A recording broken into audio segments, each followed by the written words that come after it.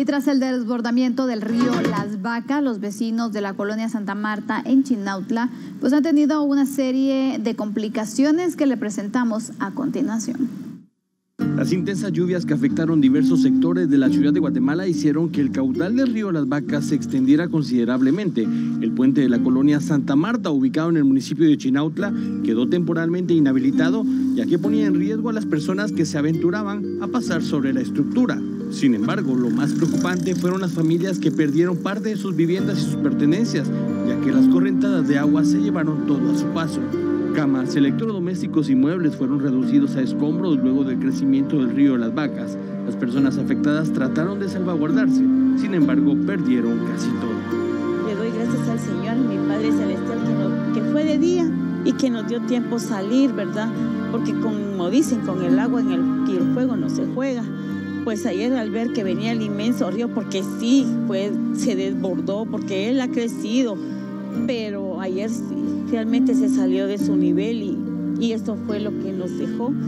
Una de las escenas más impresionantes que se veía en el sector fue conocer que esta mujer, identificada como Isabel Muñoz, tuvo que pasar la noche en las afueras de su vivienda, a pesar que la Conred y algunos vecinos le ofrecieron albergue, prefirió quedarse al lado de sus mascotas, indicando que en ningún lugar la recibirían con sus animales. Otra de las escenas también que pues es bastante impactante y hasta dolorosa poder observar es como una mujer que vivía acá en esta eh, pues vivienda, en, este, en esta casa de habitación, ha decidido dormir bajo unas gradas. Ella eh, pues eh, es una de las damnificadas.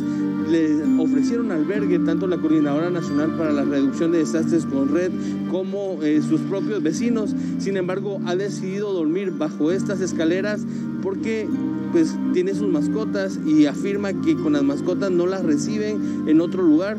Mejor pues decidió quedarse acá en este sitio. Voy a entrevistar a la doña Isabel Muñoz para que nos pueda comentar. Doña Isabel.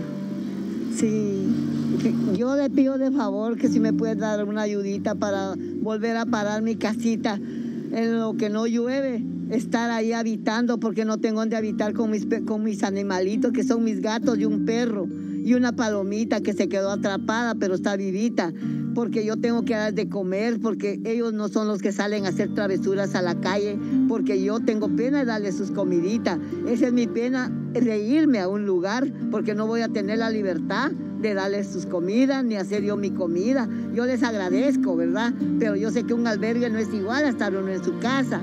La Corred ha calificado esta área como zona inestable propensa a inundaciones debido a la cercanía con el río Las Vacas. Sin embargo, las personas siguen habitando el sector. Los afectados esperan el apoyo de una mano amiga. Si usted desea colaborar con doña Isabel y sus mascotas, se puede comunicar al teléfono 5902-8574. Esta mujer afirma que tendrá que empezar de nuevo, porque el río se llevó todo lo que tenía.